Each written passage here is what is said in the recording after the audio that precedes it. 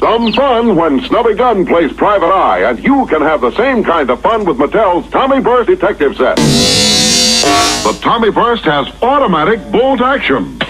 Fire off a burst of 10 shots. Pull the bolt again, you're reloaded. Or fire single shots like a rifle. The Tommy Burst alone is $3.